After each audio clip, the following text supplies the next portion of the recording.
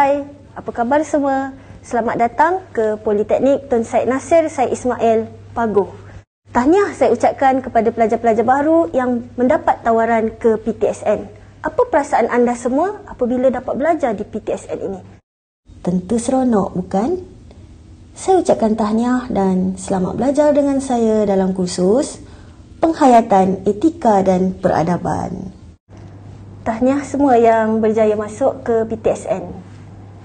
Okey, mesti anda tertanya-tanya kan apakah kursus yang akan anda ambil untuk semester ini? Jangan pening dan anda tak perlu risau.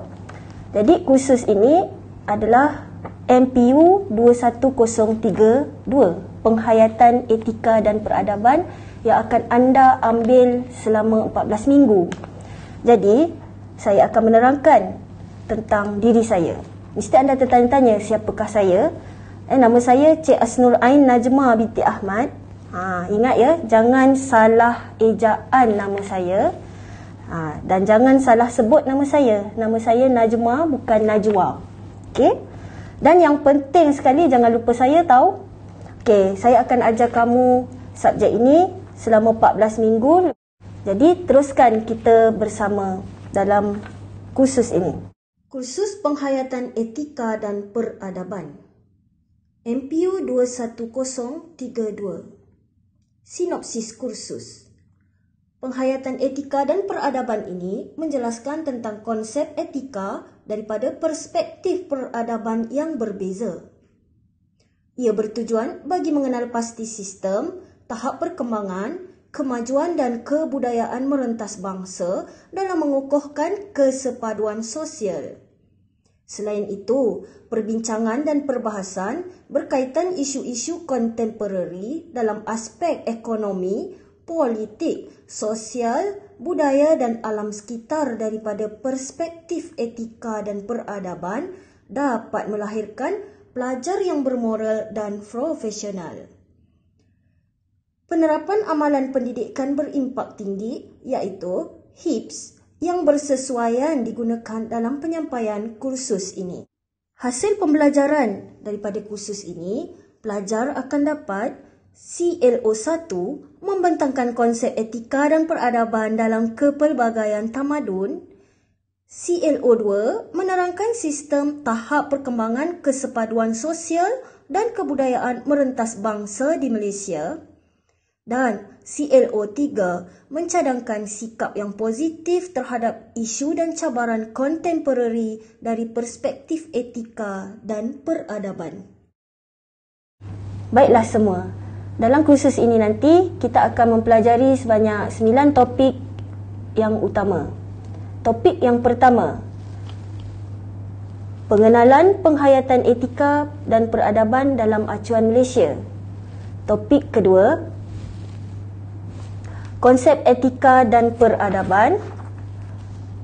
Topik yang ketiga, etika dan peradaban dalam masyarakat kepelbagaian. Topik empat, pemantapan kesepaduan nasional Malaysia. Topik kelima, pembinaan peradaban majmuk di Malaysia. Topik keenam, Perlembagaan sebagai tapak integrasi dan wahana etika dan peradaban Malaysia. Topik tujuh, Teknologi maklumat dan komunikasi iaitu TMK, penggerak kesepaduan nasional di Malaysia. Topik lapan, Peranan etika dan peradaban mendukung tanggungjawab sosial di Malaysia. Dan topik yang terakhir, topik yang kesembilan, cabaran kelestarian etika dan peradaban di Malaysia. Baiklah pelajar-pelajar semua, kita akan sambung pada seterusnya iaitu tentang penilaian dan pentaksiran. Baiklah, sekarang saya akan terangkan tentang penilaian dan pentaksiran dalam kursus etika dan penghayatan peradaban yang akan kamu laksanakan untuk semester ini. Pembentangan adalah sebanyak dua kali Topik yang merangkumi dalam pembentangan adalah topik 1, topik 2 dan topik 3 dengan merangkumi CLO 1. Pembentangan pertama adalah pada topik yang kedua, markah adalah 15%. Dan topik yang kedua, topik yang ketiga adalah pembentangan yang kedua dan markah juga adalah 15%.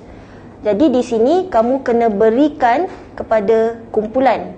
Satu kumpulan adalah seramai tiga orang sahaja dan markah yang diberikan adalah per individu. Ingat ya, per individu dan buat dalam perkumpulan seramai tiga orang sahaja yang saya benarkan.